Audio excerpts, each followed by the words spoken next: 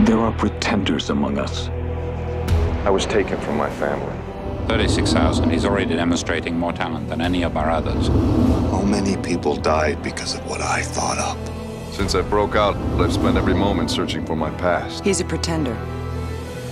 A genius who can become anyone that he wants to be.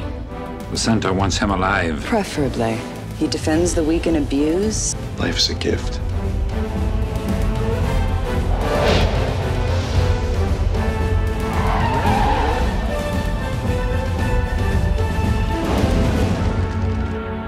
Doctor?